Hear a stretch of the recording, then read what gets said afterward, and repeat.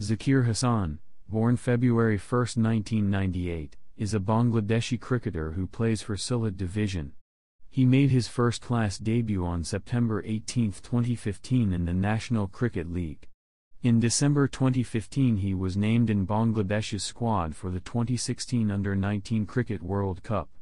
He made his Twenty20 T20 debut on November 8, 2016 playing for Chittagong Vikings in the 2016-17 Bangladesh Premier League. In January 2018, he scored 211 batting for East Zone against Central Zone. In the 2017-18 Bangladesh Cricket League, his maiden double century in first-class cricket. In February 2018, he was named in Bangladesh's Twenty20 International T20I squad for their series against Sri Lanka. He made his T20I debut for Bangladesh against Sri Lanka on February 15, 2018.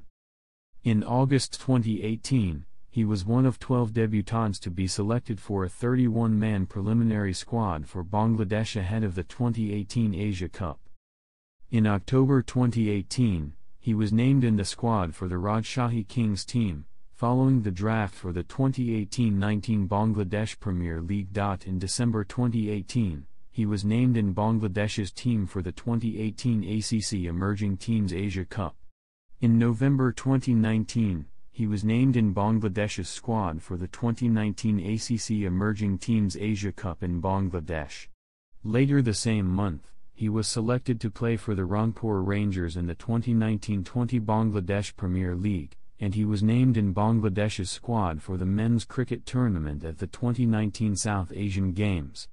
13. The Bangladesh team won the gold medal, after they beat Sri Lanka by 7 wickets in the final.